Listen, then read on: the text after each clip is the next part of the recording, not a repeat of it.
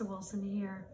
Here to speak to you today is if you love concrete, congestion all the time from traffic, wall-to-wall people, and smog, then don't move to Niagara because Niagara has very little of that. I mean, yes, we have our congestion times in cities like Niagara Falls, St. Catharines, and so forth, but not as much as Toronto,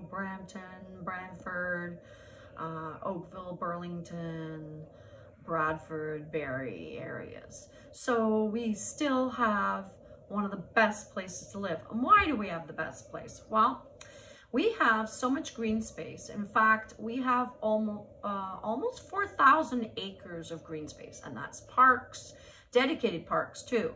So parks that can never be built on. So parks, trails, hiking, provincial parks. We have all those good things. Balls Falls is one of my favorite hiking areas. So you have that to look forward to, even for visiting, making memories, right? activities that are mo for the most part, except for possibly parking costs, are free.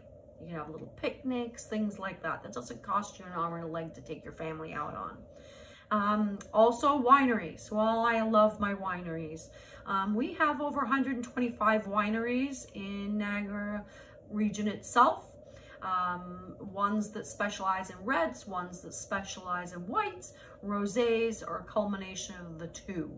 Um, those that are established, they have established um, soils that emulate those from Chile, which is amazing to me because we have amazing wines. You don't have to buy a Californian to uh, white or red to um, taste um, the beauty and how bountiful Niagara region is. So I'll just share that with you. Um, I have a number of favorite wineries in the area. Megalomaniac's probably one of my my favorite, which is in Vineland.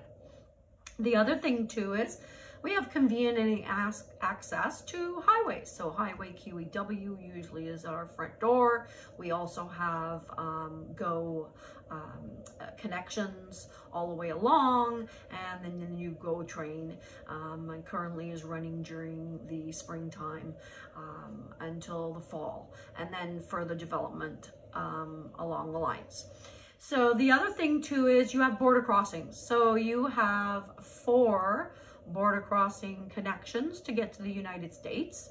Um, you have a Rainbow Bridge um, and Lewiston, which is connected through Niagara Falls. You also have the Nexus dedicated bridge, which I suggest you to get your Nexus pass because if you don't want to wait at the bridge on a very busy hot day running your car consistently for an hour to two hours Nexus takes care of that.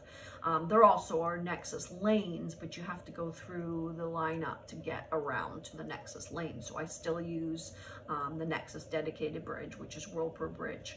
And then of course there's the Peace Bridge across from Buffalo.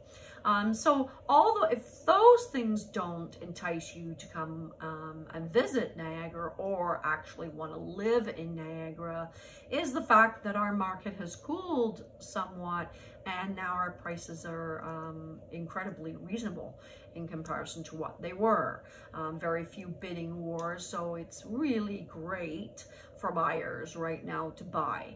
So please, if you like to hear more, connect, subscribe. I'm going to be doing a new video every Tuesday at noon.